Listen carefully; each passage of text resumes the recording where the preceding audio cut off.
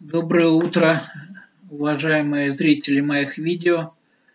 В качестве заставки к сегодняшней программе прозвучала песня с альбома Until the End of the World, саундтрека к одноименному фильму Юма Вендерса 91 года. Песня называется Move With Me, двигайся вместе со мной. Даб исполнительница Нена Черри. Надо сказать, что Нена Черри э, была очень популярна в конце 80-х, в 90-е годы. У нее вышла серия альбомов таких очень, э, очень ярких, очень экспрессивных. Очень вам рекомендую эту певицу. Но сейчас она, наверное, забыта, хотя какие-то какие альбомы у нее выходят. Э, я вот э, скачиваю их и записываю на, на диске. Мне очень нравится. Значит, надо сказать, что у нее еще есть брат, Eye Cherry, который немножко в другом стиле работает, но это такой это, это не рок, это такой э, поп, но это такие довольно мелодичные песни, ритмичные.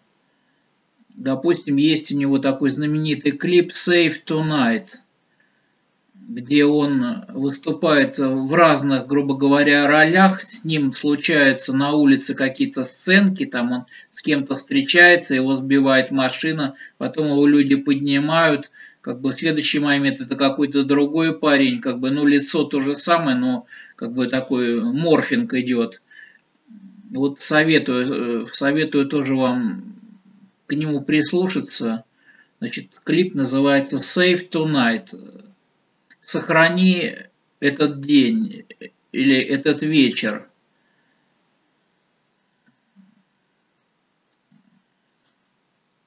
Ну, насчет музыки все. Хочу вам почитать э, сегодня с утра один рассказик. Он короткий, называется «Золотое сердце». Книга я уже читал вам.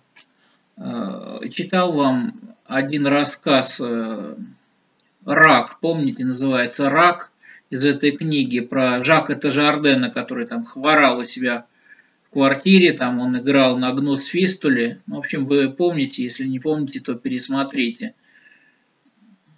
«Золотое сердце» называется рассказ. Оль старательно прижимался к стенам домов и на каждом шагу озирался самым презрительным видом. Дело сделано. Он похитил золотое сердце отца Мимиля.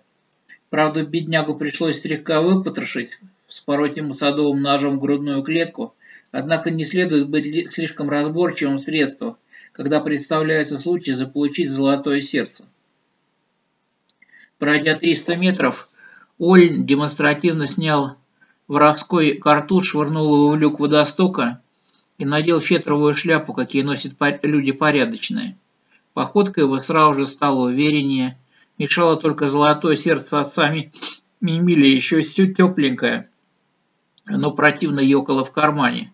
А Ольна так хотелось осмотреть его не спеша. Золотые сердца одним своим видом стимулируют жажду злодеятельности. В одном кабельтове от первого люка Ольну попался второй побольше, и туда полетели орудия убийства, дубинка и нож. На них оставались пятна крови, присохшие волосы и наверняка немало отпечатков пальцев, так как Ольн всегда все делал основательно. Липкую от крови одежду он снимать не стал. Публика все же не привыкла, чтобы убийцы были одеты, как все люди. А со своим уставом под монастырь лезть не пристало. На стоянке такси он выбрал машину поярче и поприметнее. Старую драндулетти модели 1923 года с плетеными сиденьями, остроконечным багажником, кривым шофером, помятым задним бампером. Атласный верх в малиновую и желтую полоску придавал ему вид поистине незабываемый. Ольн сел в машину. «Куда ехать, хозяин?» – спросил шофер, судя по акценту, украинский эмигрант. «Вокруг квартала. Сколько раз?» «Пока не засечет полиция». «А, э, – размышлял шофер, – так э, как же, скорость все равно прилично не превысишь, так может поехать по левой стороне, а? Давай». Оль напустил вверх и выпрямился на сиденье, чтобы был э, заметен его окровавленный костюм, который в сочетании с головным убором честного человека наводил на мысль, что ему есть что скрывать. Они сделали 12 кругов, пока наконец не встретили служебного пони с полицейским номером. Пони был выкрашен в стальной цвет и тащил легкую плетеную повозку с гербом города. Обнюхав драндулетти, он заржал. «Ага», — сказал Ольн, — «они нас выследили. Поезжай теперь по правой стороне, а то еще, не дай бог, ребенка задаю».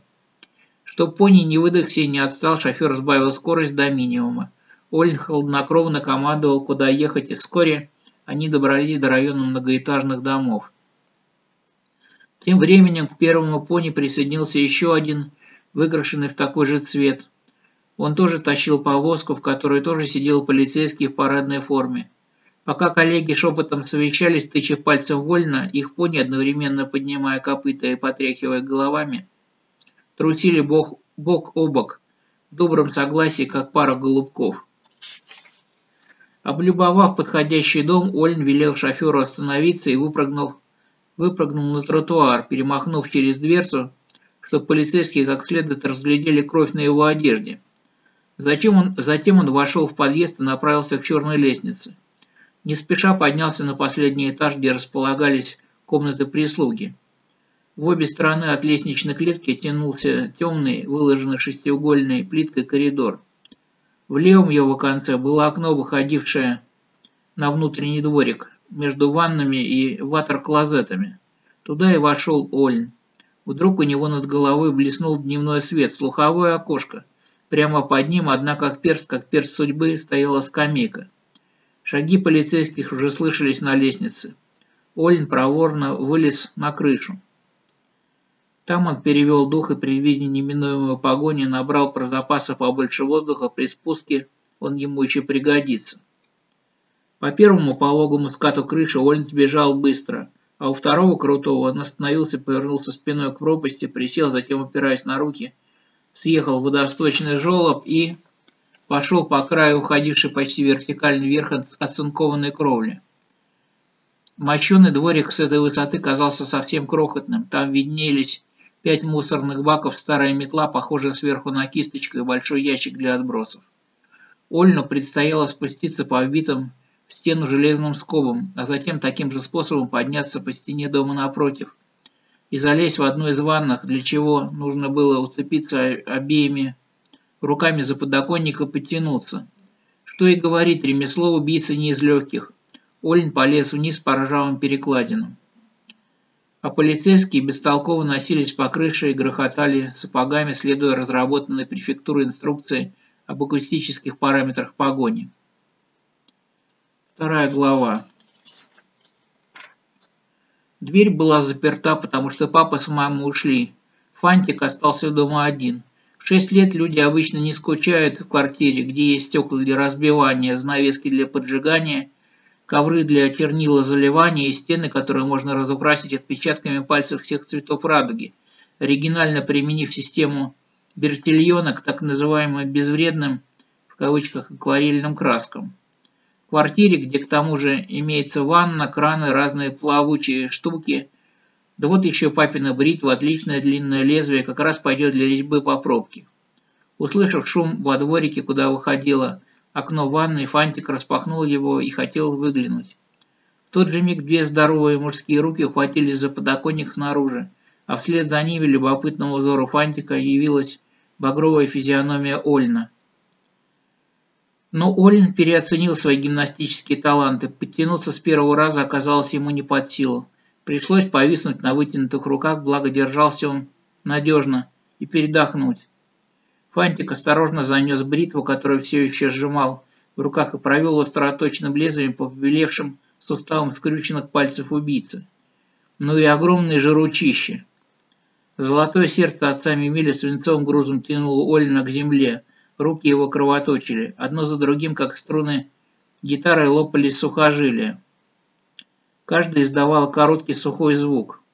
И вот на каменном подоконнике остались лишь 10 безжизненных фаланг. Из них еще сочилась кровь. А тело Ольна съехало по кирпичной стенке и ударилось о карниз второго этажа и плюхнулось прямо в мусорный ящик. Извлекать его оттуда не стоило. Завтра старьевщики подберут. Вот такой вот рассказ. Ну, это в духе Раймона Кино, французского тоже автора. В то время, в первой половине 20 э, века, целая была плеяда э, французских авторов, которые вот, э, ну, Борис Виан, он их превзошел всех. То есть у него, он выпустил допустим, такой текст, как «Уничтожить всех уродов». Это такой авантюрный роман приключенческий, но там тоже много путаницы, как бы, и эм, издал он э, его под именем Вернон Соливан, как бы, то есть э, он использовал псевдонимы, которые не раскрывал. И так, так сказать, э, ну, дурачил публику такую, как бы, которая за ним следовала, как бы, ну, он был мастер пародии, мастер прикола такого. Еще, в принципе, могу вам сказать, что у Бориса Виана у него э, есть наследие аудио, то есть вот э, на наших сервисах Яндекс Музыка или на западных Tidal, Deezer, Spotify или там Apple Music вы найдете его альбомы, конечно, на французском языке, потому что это французский автор. Э, то есть это песни, но это не то, что как Барт какой-то он там выступает, но это джазовые такие, довольно бывают в быстром темпе, бывают лирические песни. Вот, допустим, у него есть такая песня «Le Deserteur», э, «Дезертир». Э, там он рассказывает о том, что он пишет письмо президенту Франции – что нет силы, что руки у всех крови. Ну, в общем, это, это автор, который очень любил жизнь.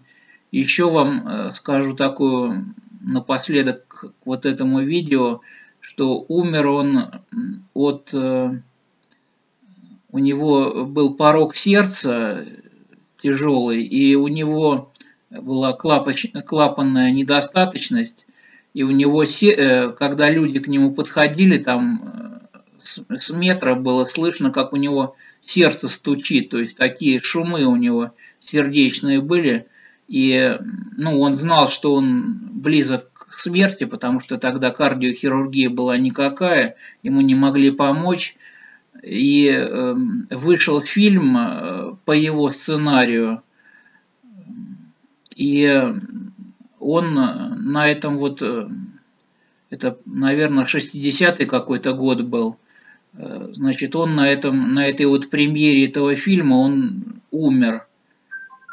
В общем, ну, это человек, который очень любил жизнь, вот в его романе «Пена дней» перемешивается и грустное, и очень грустное, и радостное, вот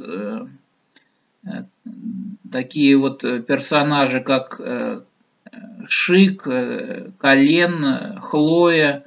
В общем, они участники этого действия.